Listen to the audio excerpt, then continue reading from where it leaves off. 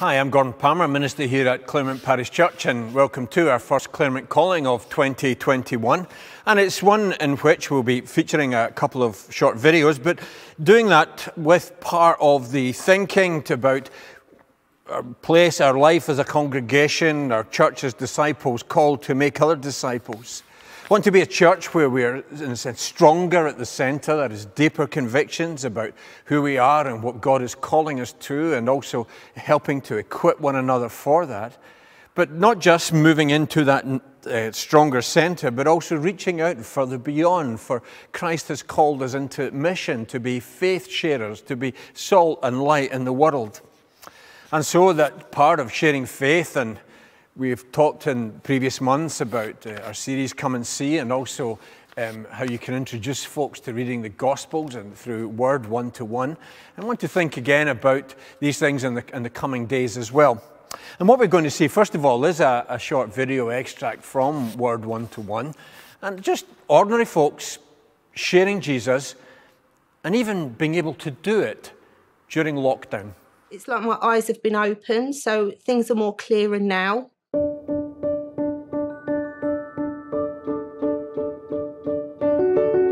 Hello, my name's Becky. Um, I live in Rochester.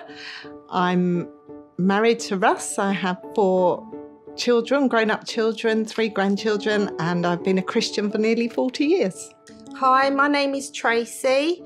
Um, I'm married to Andy. I have two grown up sons, one teenage son, and three stepchildren, and I live next door to Becky. Early in the new year, Tracy came round and knocked on my door and said, um, "Oh, Becky, have you have you got a Bible?" I had a Bible on my bedside table um, from a few years back. Was going to church with a couple of my husband's childhood friends. Just picked it up one evening and started to read. My eyesight isn't as great as it used to be, so I was having problems, and so come straight round to Beck and asked if she had one with um, words. really? so I said, "Oh, yes, okay, that's that's really interesting. I'll go and see what I can do." Came home, had a rummage on the shelves, um, went back and knocked on her door and said, "Here you are. Try try this Bible, but would you consider doing something where we could share the Bible together. We could talk about what it means and how it, that affects us and the way we live. Um, would you like to do that? And she said, Oh, yes, I would. I, I would really like to do that. I thought, well, that's great. And luckily, I had the word one to one on my shelf. And so I thought this would be a really good opportunity to, to use that to help Tracy access God's word in a better way for her. Tracy and I quickly settled into a lovely rhythm of using the word one to one. The way it's set out, it's set out in episodes. We weren't actually getting through a whole episode in a session. The conversations were ranging far and wide. It was absolutely great, such a privilege. Um, and then lockdown happened, and all of a sudden we felt we couldn't meet. And Tracy had were talking over the fence had said to me, "Oh, you know, aren't we going to be able to meet? Tony, I'm, I really miss it. I really want to carry on with with this. Looking at the Bible, it's really interesting." So I said, "Well, I'm I'm sure we can sort something out. You know, I'm sure God's got a way around this." And I gave it a bit of thought, and the weather being glorious as it was in those first few weeks of lockdown. Um, I suddenly thought, but we're always in the garden talking over the fence. Why don't we just put the chairs at the bottom of the garden and carry on with these sessions through the fence? So that's literally what we did. And we, we just had a wonderful, wonderful time. reading the Bible with Becky has it's been amazing. Um, she's so helpful and she puts up with me, and it, you know with, with all the questions that I'm firing at her and at Russ over the garden fence. Um, they're always there and they're always patient as well. Um, but yeah, absolutely um, fantastic. Um, they're an absolute inspiration to me, really do. I would really recommend using the word one to one as a way of sharing the Bible particularly with non-believers it the format just the way it's laid out is really accessible not intimidating on any level um, just really easy to use and i think it's a great tool Christians should share the Bible with non Christians to get the word out there. Simple.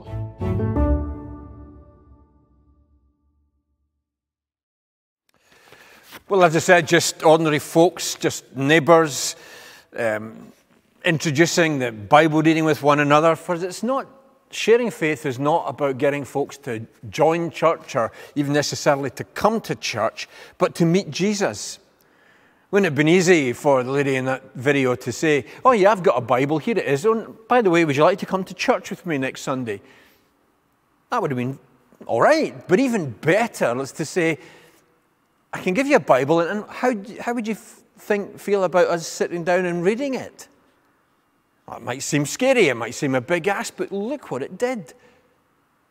It built up vistas for someone. It gave someone not just um, some ideas about faith, but it, it brought them to know Jesus, brought them into the kingdom.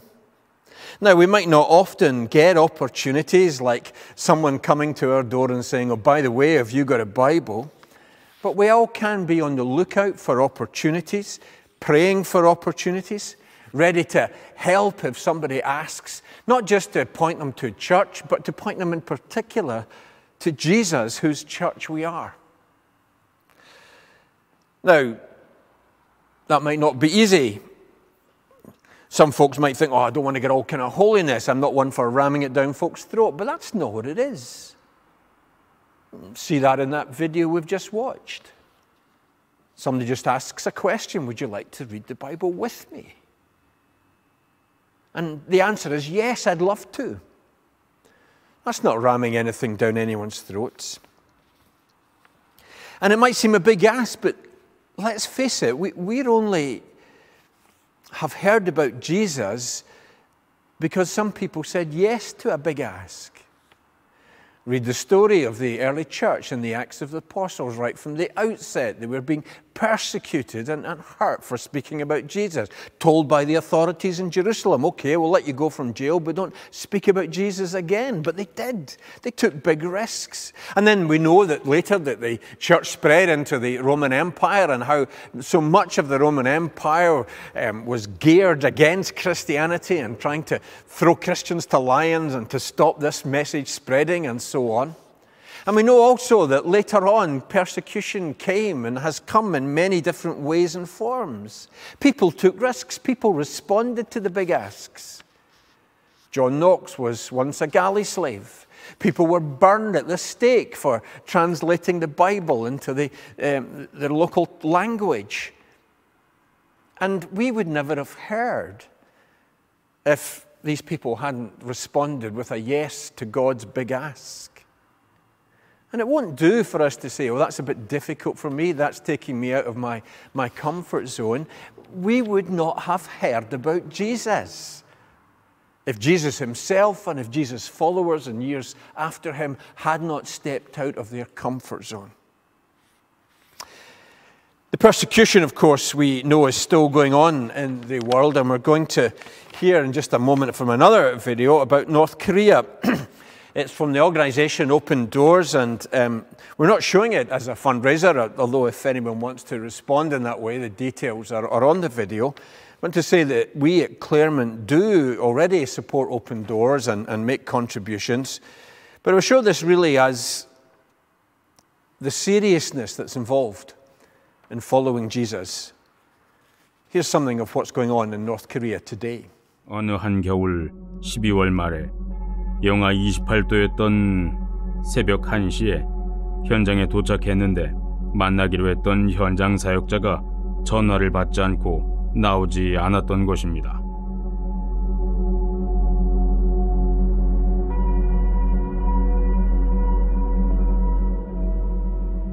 세시간 동안 수차례 동안 전화를 계속해도 전화를 받지 않았습니다.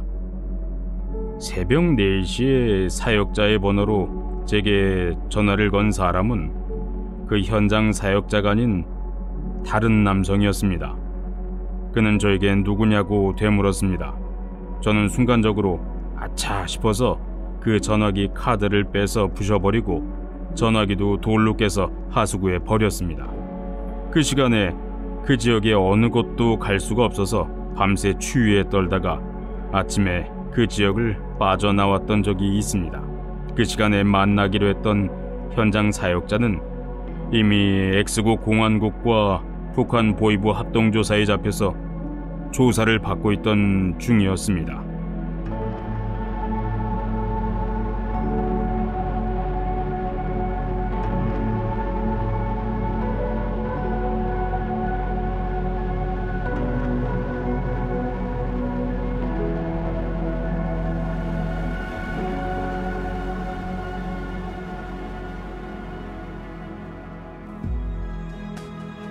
지금 제가 현재 하고 있는 사역은 이미 많은 기존의 북한 사람들이 X국에 와서 복음을 듣고 들어간 사람들이 이분들이 계속적으로 북한 내에서 X국으로 나오지 않고 어, 영적인 지원과 또 물질적인 지원을 통해 지하교회가 지속적으로 유지되도록 돕고 있습니다.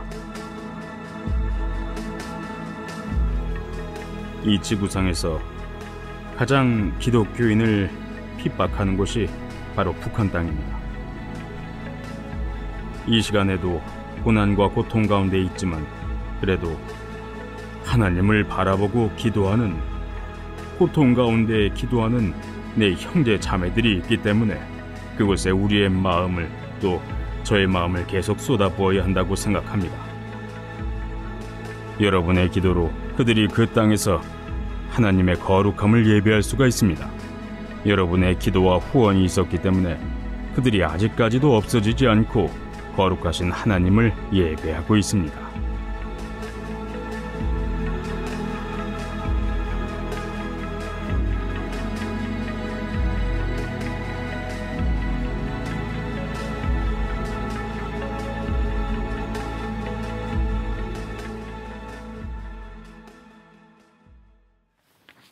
Well, this is something I'm quoting here from material that's uh, on the Open Doors website. It says, Think of your church. Now, first imagine that you can't meet in person. Well, that won't take a big stretch of the imagination given the past 12 months. But now imagine you don't even know who the other members of your church are. And that it would be dangerous if you found out. And even more dangerous if anybody found out you were a Christian. How would anybody find out? Well, people in your neighbourhood are trained to spot you. They wouldn't just be looking for signs that you meet with other believers. They'd be trained to spot if you closed your eyes briefly before eating food or inadvertently hummed a hymn tune. Even your children might be giving the game away, for they would be told at school to inform the teachers if they see their parents reading from a black book. This is the risk faced by Christians every day now in North Korea. Since 2002, it's been the most dangerous place in the world to follow Jesus, according to the extensive Watch, World Watch List research. But it's certainly not the only country where Christians face extreme persecution. In many countries, including Eritrea, Iran, Afghanistan, and Somalia, secret believers know that they could be imprisoned, tortured, or even killed if their faith is discovered. Serious stuff. And the website goes on to point out that, incredibly, in these places, the church is growing. And it follows that up as it does a kind of question and answer with uh, some folks from North Korea. Again, I'm quoting from the website. It's much more dangerous nowadays than in the 1990s. People used to swim across the, the river separating North Korea from China, or even walk across it in winter. China is a place of freedom by comparison. Now the border is much more heavily guarded on both sides. You need to spend thousands of dollars on bribes, and even, even then you don't have a guarantee. Often the soldiers have a quota. They need to arrest a certain number of border crossers. And then once in China, you're illegal and can be arrested. Many women are trafficked into marriages with Chinese men. It's an awful fate, but for many of them, still better than staying in North Korea. Many say that Christians come to China so that they can receive Bible teaching and fellowship as well as food. And then, amazingly, many believers choose to return home to North Korea. And they're doing that so they can witness to Jesus. So, one of the Korean believers is asked, What is your vision for the North Korean church? And he says four words survive, strengthen, equip, go. If you're desperately hungry, it says, you can't do ministry. So the first concern of the persecuted church is survival, but it doesn't stop there. And even though circumstances are difficult, the church, you see, wants to be God's witnesses and to reach their own people with the gospel.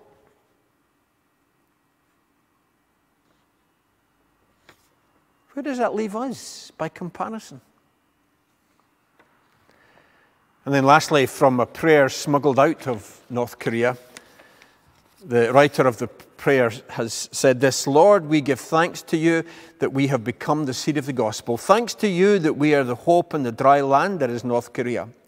We thank you that we can sow seeds with tears in our eyes, while at the same time we dream about the green pastures that Christ will lead us to. Please use us. We are Christ's army and want to bring the gospel to the ends of the world. We want to be your witnesses and spread your blessings. Let me be your worker for the glory. Hold my hands until I meet you. Let me be obedient wherever you lead me. Let me be your joy and a good Christian. So she prays. Now, I'm not saying that we all need to go to North Korea. That's not likely. That's something that's called for very few of us to do. But we are, if we're a Christian, called to be a follower of Jesus, called to be a disciple, called to be looking at ways in which we can share faith and make other disciples. So, again, I'm saying that we are starting a couple of courses at, at Claremont on mission shaped living and on Claremont Family Life, mission shaped living about how do we live in a way that looks outward with the eyes of Christ and the world around us. And Claremont Family Life that has said, what is involved for me? What does it mean for me to be a disciple? What are the promises I make to Jesus as I follow? Get in touch with the church office if you want to find out more about these courses. They'll be starting in the coming week.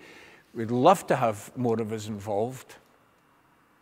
And when we look at what it cost Jesus, when we look at what it's cost people down through the years, the Wycliffes, the Knoxes of the world, when we look at what it costs to be a Christian in places like North Korea today, and then when we look and see that all of these ministries nevertheless were fruitful for the glory of God, we need to ask ourselves how seriously we're taking. We need the, the, the, call to follow, how much we can be, do, and how we can better equip ourselves to be more part of a disciple making people that God has called us to be. Thank you.